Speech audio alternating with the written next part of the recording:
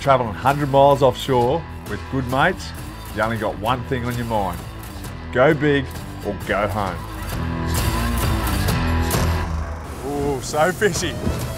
First cast of the day. Come on, GT. I can feel him. He's not too far away. I reckon that current's gushing over there.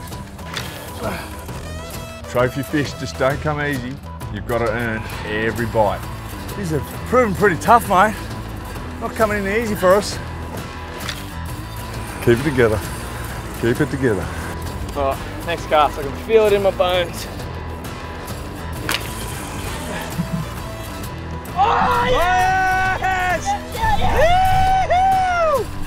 Oh, yeah! You on him? He's a big one. Big one, is it? Yep, big fish. Yeah, Terry. If you want to catch the fish of a lifetime, you have to dig deep. Yes. This is gonna be the one. This is the one. Boss! Come on. Just suck in, bro. Come on, mate. Put your back into it.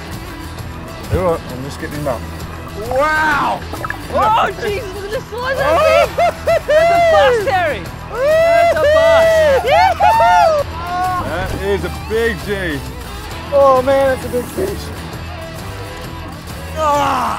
The job's not done until the fish is in the boat. This is man versus fish.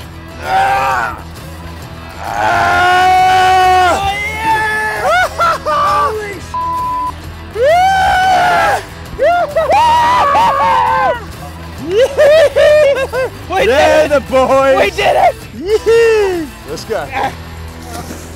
And he's swimming away strong. Well done, bro. Ah. That's awesome.